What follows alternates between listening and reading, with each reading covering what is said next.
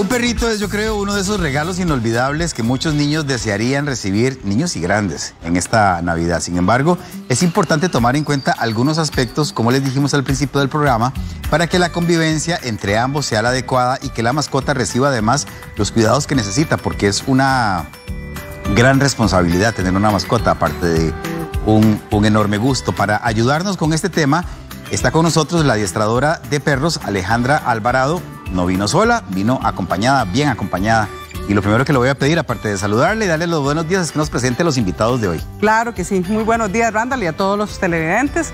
Bueno, tenemos por acá a Eric, tenemos a Dior, tenemos a Silver con Chanel, tenemos a Jackie con Benny. Ese es conocido ya. Ah, es totalmente conocido. De la es de la farándula. Es de la casa. Exactamente. Y Vanessa con Max. Y tenemos esta bella también, que de la doctora Flor Navas, que se llama Charolita.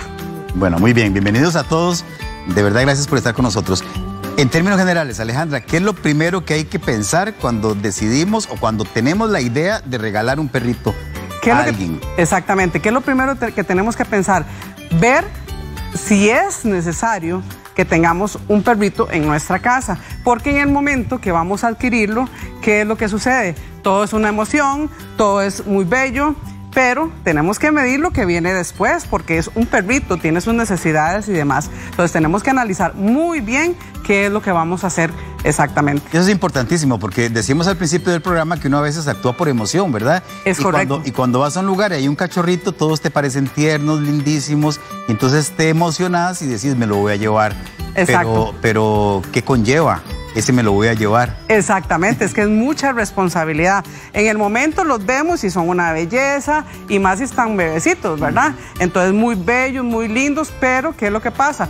Vamos a esperar que tenga 5, 6, 7 meses, si es que lo adquirimos ya bebé, entonces ahí vamos a ver el cambio que va a tener, ¿verdad? Y como, le, como te digo, Randa, la responsabilidad, porque esto es una responsabilidad que se adquiere, que tenemos que tener disciplina. Claro. Eh, justamente eso quería preguntarle, Alejandra. Si, si el perrito que compramos debería ser cachorro o puede ser un perrito ya grande, ya adulto. Ok, más que todo si es para niños, este, los niños tienden a escoger lo que es los cachorros, ¿verdad? Entonces por eso hay que saber cuáles son las razas que son para ellos, ¿verdad? Porque si es un bebé que tiene un año, dos años, este, por ejemplo, le compramos un Golden Retriever que ya a los dos, tres meses pesan aproximadamente 4 o 5 kilos, ahí vamos a tener problemas, ¿verdad? Entonces hay que saber muy bien lo que vamos a escoger y también leer acerca de cada raza. ¿Por qué? Porque todas las razas son diferentes. No todas las, las razas este, reaccionan, reaccionan, igual. Tienen su temperamento. Tienen justamente, su temperamento. Justamente tenemos eh, unas fotografías que vamos a colocarles eh, porque quiero que Alejandra nos explique qué razas son las que más se recomiendan para convivir con niños. Y ahí tenemos esas cuatro fotos. Ok, bueno, tenemos la primera que es el mestizo eh, conocido, yo les digo mestizos, son zaguatitos, ¿verdad? Que tenemos bastante cantidad en el país, que podemos adoptar, hay bebés por todos lados. Después eh, tenemos lo que es el maltés, tenemos el chihuahua, también que es un perro súper, súper bueno, y este, esta otra raza que también es muy, muy aceptada para, para los bebés, ¿verdad? ¿Qué características cree que usted que tienen esas cuatro razas que la hacen? Son muy nobles, eh, Randall, son muy nobles, son muy tranquilos.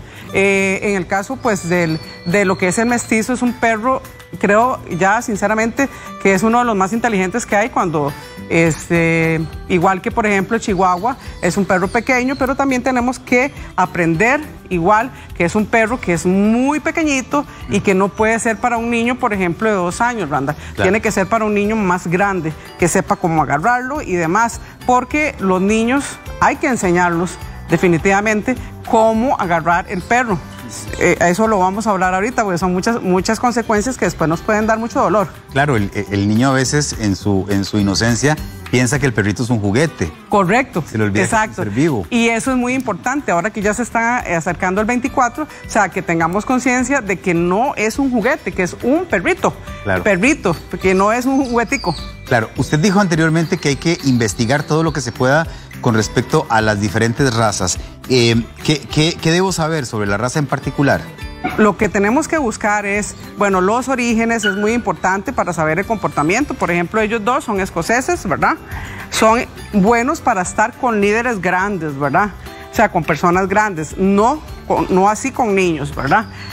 lo que es el Border Collie es un perro especial también que se puede trabajar para lo que es los niños desde bebé. Tiene que estar desde bebé con ellos, ¿verdad? Ya desde bebé me refiero por lo menos unos tres años, ¿verdad? Lo que es el pastor alemán es un perro que ya es para un niño, perdón, de unos 10 años en adelante. Lo que es el pug gigante, lo que hacemos es igual, que sea para niños grandes, ¿verdad? Pero sí tenemos que investigar todas sus necesidades. Por ejemplo, esto es un perro que necesita hacerle grooming cada 15 días. Sí. Ok, las necesidades de cada uno de ellos tenemos que ver qué es lo que ellos necesitan. Y cosas básicas, ¿verdad? Como averiguar, bueno, cuánto va a crecer este perro. Exacto. Cuánto va a pesar cuánta actividad física necesita el día. Exactamente, que eso es algo que tenemos que considerar. Nosotros no podemos tener un perrito en casa y pensar que lo podemos tener en el, paso, en el patio. Ahí como podemos ver en la tabla, ¿verdad? Tenemos que ver raza, la alimentación que lleva, porque por ejemplo, un perrito como Benny puede estar comiéndose ya un kilo diario de alimento. Ellos se pueden comer cada uno medio kilo diario de alimento. Tenemos que también ver lo que es la parte de las vacunas que tenemos que llevar un programa desde que está pequeñito, que son mínimo tres vacunas. Cada una de esas visitas al doctor vale 20 mil colones, un promedio, ¿verdad? El ejercicio, la desparasitación que tiene que ser mensual o trimestral, depende del producto que se utilice. Entonces, estamos hablando que es bastante lo que tenemos y bastante responsabilidad. El juego, si estamos en época de verano como ahorita, perfecto, salir a caminar, aprovechar y demás. Y si no, pues utilizar todo lo que son los juegos de inteligencia dentro de la casa. La higiene, los baños, que los perros tenemos que estar bañándolos cada 15, cada 22 días. Y en algunas razas, como por ejemplo los escoceses, hay que, sí, hay que hacerles su corte, porque si no, igual se empiezan a llenar de mucho ácaro y demás, ¿verdad? Y en el caso, digamos, de Charolita, que ella lleva ya un corte muy especial, ¿verdad? Claro. Eh, digamos que ya la persona tomó en cuenta todas estas recomendaciones que vos diste y decidió llevar el perrito a la casa. Exacto. Antes de ese momento, ¿qué hay que considerar? Cuando, cuando enfrentamos a la mascota con los miembros de la casa con, con los cuales va a convivir. Ok, bueno, tenemos que considerar muchísimas cosas. Por ejemplo, que antes de que llegue tenemos que tenerle camita, tenemos que tenerle su collarcito, ¿verdad? Aparte de eso, comprar sus cosas eh, básicas y el alimento que va a utilizar. Tenemos que ver qué alimento está usando el creador o el vendedor que nos, que nos está dando el perrito, ¿verdad? Para también hacer una mezcla. Saber que el alimento no se puede cambiar tampoco, Randall, de que le están dando este, un alimento y cambiárselo de golpe a otro porque eso le va a provocar problemas estomacales. Entonces tenemos que ser muy conscientes, además que cuando llega a la casa también hay otro aspecto.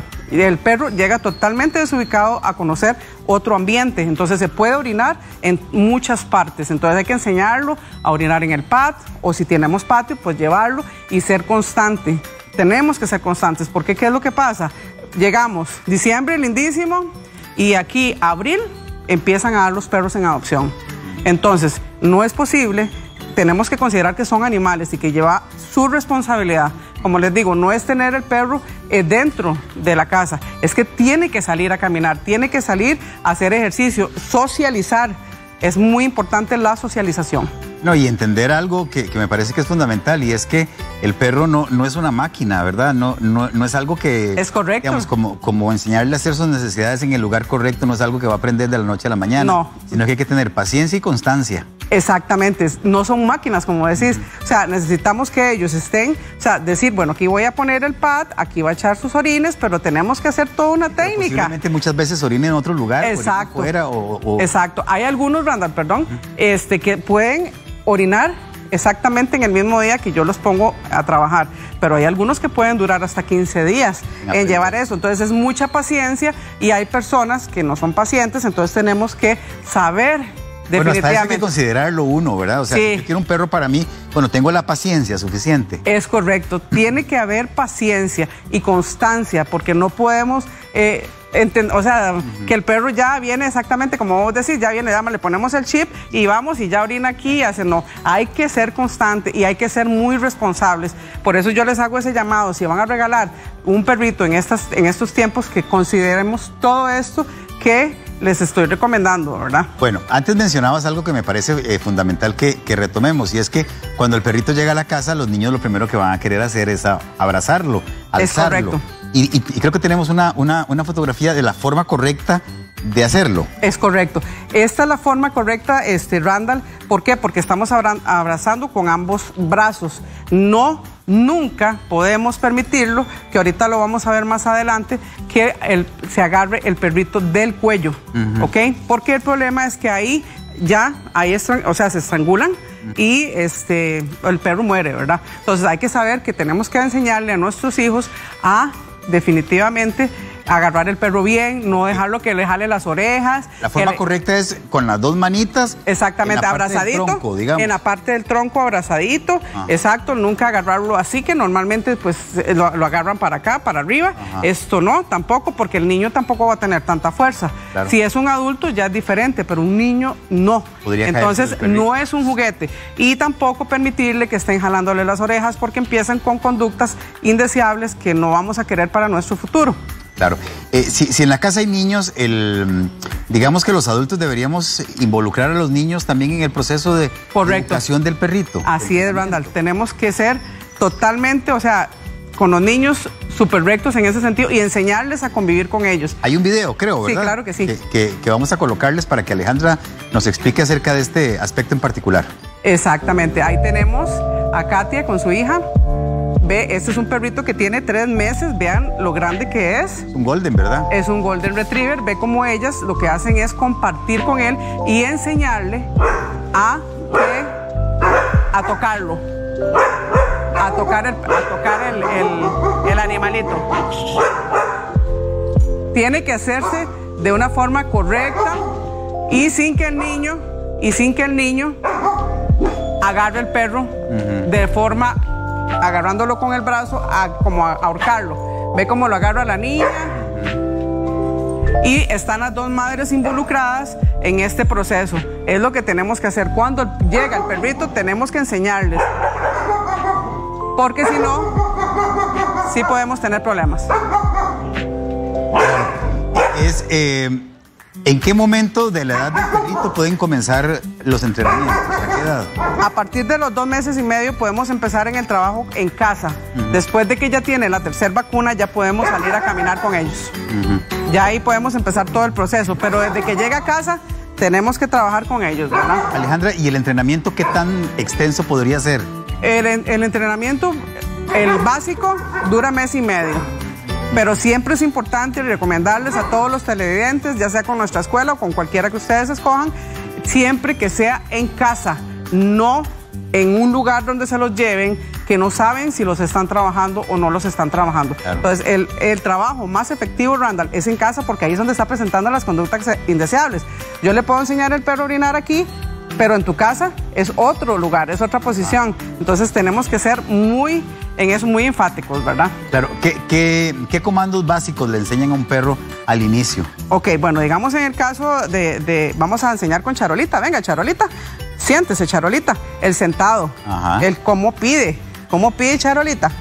Ay, qué linda, muy bien, cómo pide es que toca y abrimos la mano, igual lo que es la parte del saludo, Después el quedarse quieto, el, el, utilizar los pads de entrenamiento, ¿verdad? Y eh, ahí pueden, son sin fin de eh, comandos que pueden aprender, ¿verdad? Hasta llegar a un cuarto nivel, como lo tiene, por ejemplo, Benny, que ya está en un cuarto nivel este, de este adiestramiento donde él prende luces. Imagínese. Sí, imagínese. Por aquello que Nancy se quede. Sí, es cierto. Cierto. Prende la luz del ¿Sabes que tienes que enseñarle a que te despierte cuando te quedas dormida? sí. Es que lo que pasa es que él se acurruca conmigo. Ahí está, Fe. Ese es el problema, ¿verdad? Que duerme con la mamá. estamos mal. Exactamente. negra, que, eh, tal vez tu experiencia le sirva a otras muchas personas. Al principio hablabas de que si hubieras sabido lo que era tener un perro, lo hubieras tenido muchos años antes. Sí. Eh, por, por, por, a ver, no creo que cuando tenía a mis dos hijos chiquitillos, porque realmente eran bien inquietos y, Era con como un perro hubiera sido mucho con demasiado. Yo creo que todo llega en su momento Ajá. y este era el momento, pero ha sido mágico para mí. ¿Y, El- y- y qué ha sido, digamos, no, no lo pongamos así, no, no pongamos cuál ha sido la, la- la situación más complicada o más compleja, sino que ha sido lo, lo más difícil del, del proceso de enseñarle a Benny? Que ha sido lo más difícil de enseñarle, caminar. Que el otro día te vi que te Camina de la- pésimo. te Él- lle- y él te lleva de la relinga, ¿verdad? No, sí, eso me ha costado mucho, pero él tiene, es lo único que yo diría, porque de ahí en fuera es que lo eduqué desde los dos meses y medio, entonces él es muy, muy educado. En la casa no hace desastres ni nada. Temas pero- como los orines y la No, caquilla no, y cero, así. Cero, cero. Nunca cero, rompió nunca. zapatos. No, cero, ni un solo zapato. Y ahí te puedo decir, perdón que te interrumpa. Randall, que Benny es uno de los perros que aprendió en el primer día a orinar en el lugar que se le indicó. El, el primer día, el día que llegó a la casa, Ajá. todos Sí. hicimos como, ¡Ah! ¿Es en serio? El primer día llegó a la casa, ese día estaba Ale con Pero es que he leído que es la raza de perros una de las más inteligentes. Ella es una de las razas de, de los perros más inteligentes, definitivamente. Sentado. Ah. Pero él sí se, digamos, es Ay, es que vio o sea, súper, súper brillante, ¿verdad? Súper brillante. Y sí es muy apegado con la madre, como pueden ustedes notar, ¿verdad? Sí, sí. Todos fue- todos son apegados con sus ¿Eso dueños. es bueno o malo? Pregúntenle. Sí. No, es malo. ¿Por qué? Porque tiene hiperapego con la mamá. O sea, él no puede ver que, que Nan camine por aquí porque él está con la mirada viéndola y no Bueno, lo quita. De, de hecho, lo que pasó era que todos estaban tranquilos, Benny vio a Nancy, Y comenzó ya. a ladrar y los demás comenzaron a ladrar. Exactamente.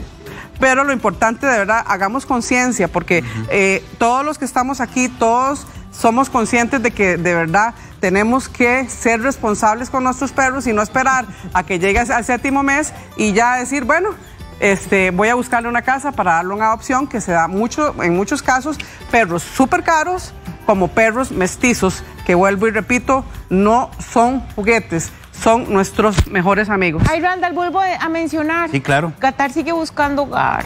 Ahí está, Sí, todavía. todavía Qatar está aquí en, en Dandy por si alguien lo quiere. Ok. Este, que sí, a mí me dolió mucho porque sí parecía un perrito que tenía hogar porque tenía la marca del collar. Y a pesar de que lo pusimos en redes, hasta en el periódico salió, nadie lo reclamó. Entonces tuvo que haber sido que alguien lo... Sí, es que los, de- los dejan abandonados. Yo he visto casos de donde los dejan abandonados pierden, totalmente. los pierden. O los van a dejar al refugio de animales en San Rafael, los dejan amarrados del portón para no pagar lo que hay que pagar Ajá, y se van se en la madrugada. Vea, le pregunta eh, Ana Guerrero si un salchicha es recomendado para niños de un año y nueve años. Para el niño de nueve años sí. Para el más pequeñito, no. Para el más pequeñito no, porque es un perro muy energético y lo que puede hacer es que lo puede botar. Entonces, eso tiene que considerarlo o definitivamente eh, lo que hay que hacer es estar, como ustedes vieron ahora en el video de nuestras amigas, este, que tiene que acostumbrarlo desde que está pequeño, Randa. Ok. Eh, eh, Magali Castro, ¿qué tan bueno es darle probióticos? No sé si sabes algo de eso. Sí, claro, por supuesto. El probiótico es muy, muy bueno, eh, pero tenemos que hacerlo pausado. O sea, por ejemplo, le podemos dar, hay muchas marcas, ¿verdad?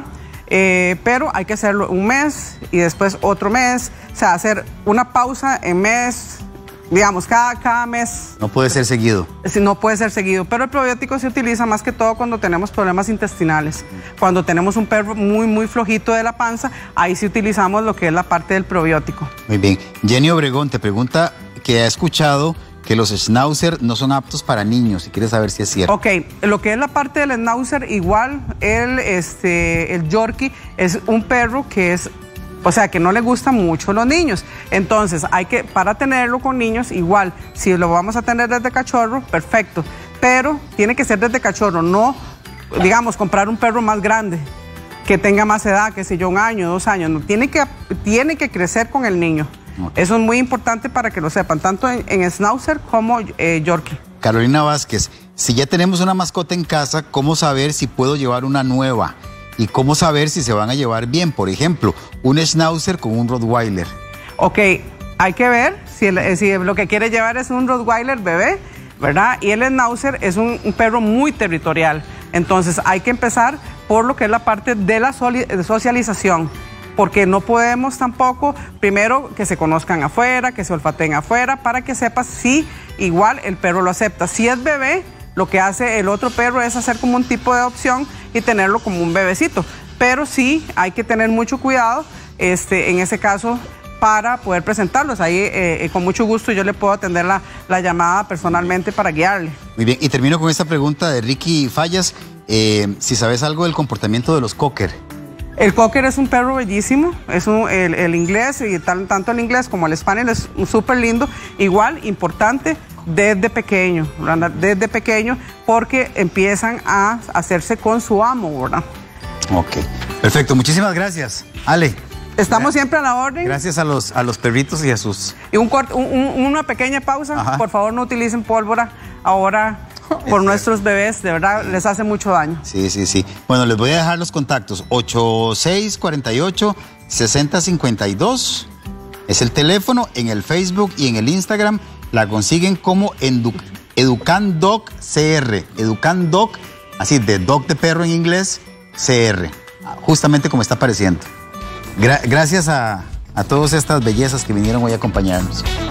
Muchas gracias a ustedes. Dueños y dueñas. Si le gustó este video, recuerde suscribirse a nuestro canal de YouTube para repasar el contenido disponible.